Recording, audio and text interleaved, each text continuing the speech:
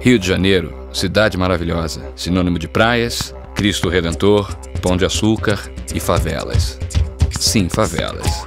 São mais de mil no Rio de Janeiro. Agora, experimenta procurar uma delas no mapa. Achou?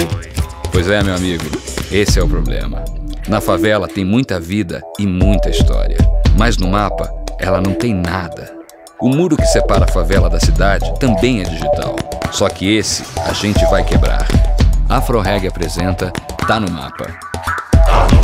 Nosso primeiro destino, Parada de Lucas, uma favela na zona norte do Rio com mais de 20 mil habitantes.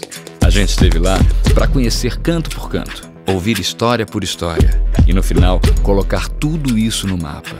Agora você pode navegar pelas ruas, conhecer novos lugares e saber mais sobre uma comunidade que antes não existia.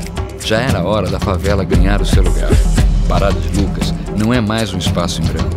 E em breve, as outras favelas também. Tá no mapa. Quebrando o muro entre a favela e a cidade.